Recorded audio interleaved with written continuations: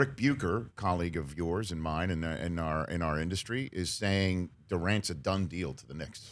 What do you say on that front? Well, I will say this. I, I think it's ever it's hard to say done deal when we're in what April. Um, but even if you rolled back to February, January, if you asked around the league at any time this season, the con- I- consensus is too is too light of a word. The overwhelming opinion of people around the league is yes, Kevin Durant is leaving the Warriors after the season, and he's going to New York. Now, the NBA grapevine is very active, and and and uh, it's it's sometimes right and it's sometimes not, and sometimes you wonder if it's a game of telephone and everyone's just sharing the same tidbits of information. I've never heard it this definitive on a player's future as I have with the idea of Durant to the Knicks. It's everyone you ask, and there is certainty. Now, when I say certainty, I mean that that's what the people, executives, and scouts will tell you. But nobody really knows, of course. Even Kevin Durant probably doesn't know. And if you ask folks who were around him during his final year in Oklahoma, he wavered throughout that season and after that season in making his decision to leave there to go to Golden State in the first place. So we're not talking about the most reliable narrator in Kevin Durant. So even if he or people associated with him have indicated that that's what he wants to do, there's a lot of time for that to change. I would agree. I mean, wh- why wouldn't he stay put? Why wouldn't he? That's a great question. You know, I, and and I, and the answer every time I say that is well, legacy. Well, he he joined a team that had already won a championship and did put it into a different um, a different stratosphere, but that's just because he's as good as he is and everybody else is as good as they are. He just joined he joined the team that beat him. Yeah. And he needs to create his own spot, his own legacy in his own new town. And I'm like, well, why doesn't he just christen the new beautiful arena that they're going to have in San Francisco? The rest of the team might change. He's still there. He's the one who's won this the MVPs of the NBA Finals. Why can't his legacy just be what he's done, continued on? It's funny if you go back through NBA history and you talk about all-time greats and the championships they won, whether it was the 11 rings that the Celtics won back in, in the 60s, or you know the Lakers Showtime teams of the 80s, the Bulls in the 90s, any of them, you never talk about how those players got there, um, what their decisions were in the course of their. You just know that they have rings. You just know when you flip through the the annals or you you're scrolling on Twitter. Right. Oh yeah, that guy's got four rings, five rings. He's in the Hall of Fame.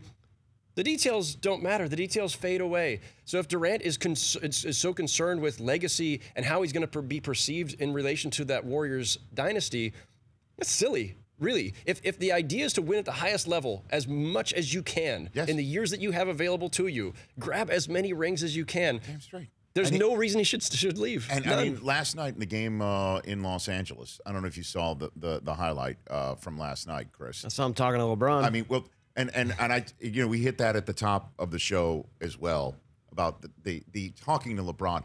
It's nuts that these two guys, who absolutely definitely have each other's cell phone numbers, would choose in public on the floor of Staples to cover their mouth and say, "Hey, you going to come here to Los Angeles this is July one?" Like that conversation, if it's had, is had elsewhere. I don't know what they're talking about. I think what they're actually doing is, is they're, they're pulling up the, the, the thing and they're going, hey, if we both do this, people are going to Yeah, they're gonna all going to wonder what Yeah. we're talking and about. they're laughing about it. Yeah. But uh, the other, those that was one item from last night. Another one was Steph Curry behind the back, no look, full court pass to Durant, wide open for a bucket.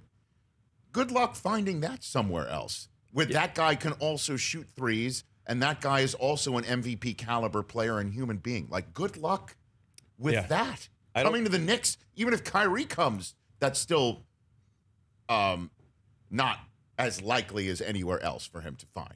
Probably not. And and this is the thing. It- it- we have always assumed, Rich, as as fans of the game, as media who cover the game, that it's always all about winning, or we we we we play into that a lot. We really know better, or we all should know better by now. It's never just about the championships and the winning. It can be about the money, of course. It can be about ego. It can be about branding and your personal brand. It can Right. be about business opportunities off the court. It can be about a lot of different things.